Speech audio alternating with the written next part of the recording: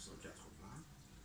Et, mais quand je, je suis arrivé ici, ça fait 40 ans, mais euh, plus de 40 ans que j'ai inventé cette expression pour histoire politique et le danger qu'il peut avoir cette histoire politique.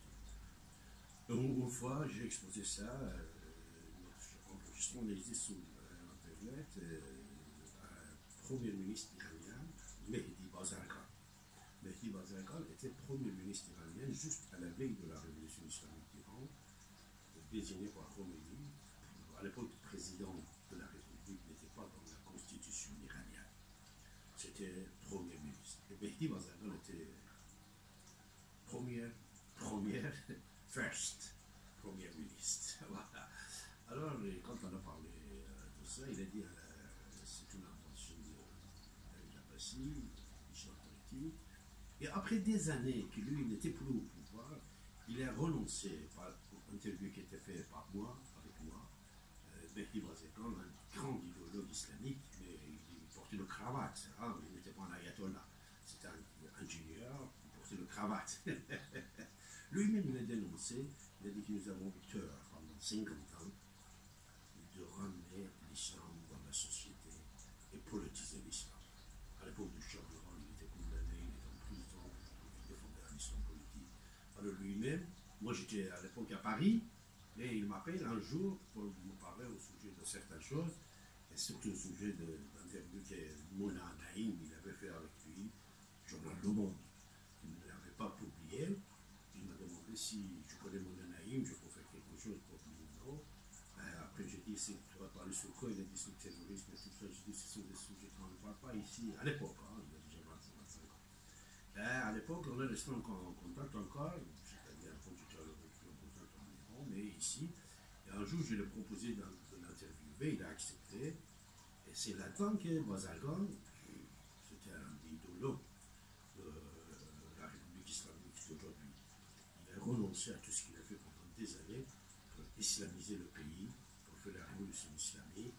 Mehdi Bazargan, trouvez ce nom sur Internet, vous allez voir, c'est un- important. Alors quand les gens assez costauds comme lui renoncent à la politisation de l'islam, et actuellement dans tous les pays arabes du monde, vous en avez des millions de gens qui pensent comme ça, euh, qui sont en Égypte, qui sont en Tunisie, qui sont en Algérie, euh, qui sont au Liban, euh, la Syrie, l'Irak, pendant des années avec Saddam Bachar, il était communiste, il était marxiste, socialiste, mais il n'était pas musulman. Voyez Alors, euh, imaginez-vous que maintenant, ici, maintenant, au 21e siècle, on va avoir peur de l'islam.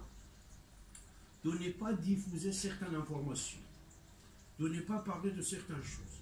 Même quand il y a un attentat, euh, euh, comme attentat d'aujourd'hui, Sri Lanka, à Sri Lanka, nous, ah, j'ai entendu tout à l'heure, il y avait quelqu'un, un journaliste, qui voulait dire Ah oui, non, c'était contre l'Occidental, ce n'était pas contre les chrétiens, ce n'était pas islamiste. Et, après, il y a d'autres attentats dans le monde qu'on l'oublie. On ne sait pas maintenant pas le coup. Pourquoi on a fait ça? Et en plus, on donne de temps en temps des mauvaises adresses. On donne des mauvaises adresses, comme quoi, ah, tel, tel gens n'était pas présent au travail, tel gens patati, tel gens patata. Pourquoi Pour brûler le piste. Tout ça, vous savez, ce n'est pas toujours question de pétrodollars, question d'avoir peur. J'ai peur. De temps en temps, j'ai peur. Moi, je me rappelle, je vais vous dire, mais j'étais en train de parler avec un chef d'État euh, d'un pays, là, très prestigieux. Euh, on a parlé sur l'histoire politique et tout ça. On avait lu mon bouquin Femmes et guerre en histoire politique, préfacé par le sénateur Henri Caillavet. Henri Caillavet, c'est quelqu'un quand même, c'est un grand écrivain, c'est un grand homme de loi en France. Beaucoup de lois françaises, c'est grâce à Henri Caillavet. Beaucoup, beaucoup. IVG, euh, CSA actuel, et beaucoup d'autres lois, euh, euthanasie, et tout ça, c'est Henri Caillavet dès le départ.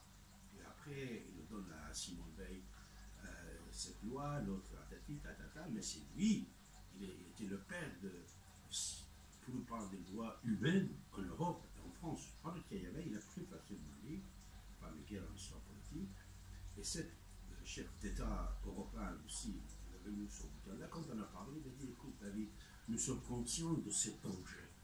Mais regarde autour de toi. Notre vie, notre pays, il y a plein de musulmans. On ne peut pas dire ça. On ne peut pas. J'ai peur. Si je dis ça, même peut-être je vais être tué par mon gars. Je ne sais pas s'il est musulman ou non. Et de temps en temps comme ça. Et ça, imaginez-vous que ce, n'est pas contre les musulmans, parce que les musulmans sont des êtres humains tellement gentils. C'est l'idéologie. C'est de l'idéologie islam politique. Vous voyez, quand on parle de l'islam politique, on ne parle pas de l'individu.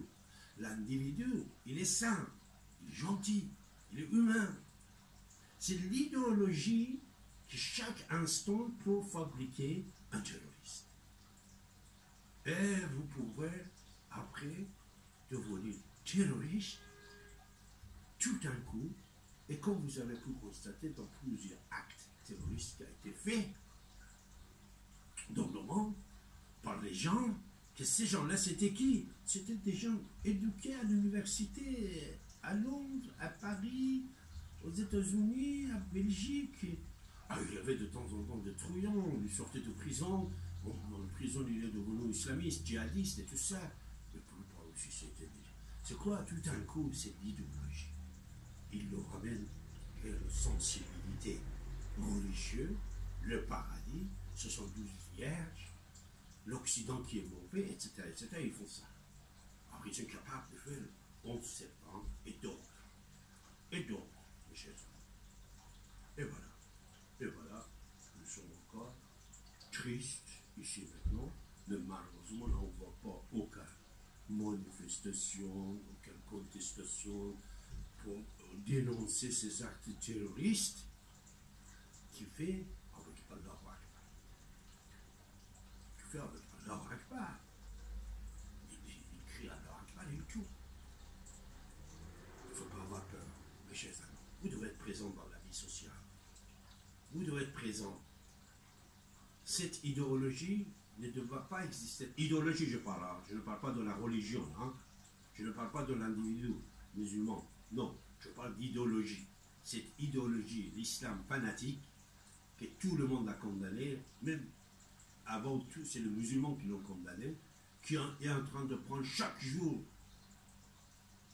des victimes, d'abord de musulmans même, et après de civilisation judéo-chrétienne, de, de, de, de, de, de- de peuples du monde entier. C'est danger, vous avez, vous avez la parole, en composant de 08 92 23 95 20, mes chers amis. On va vous écouter, bien sûr, on va vous écouter. Vous avez la parole. Et cette musique que vous aimez beaucoup,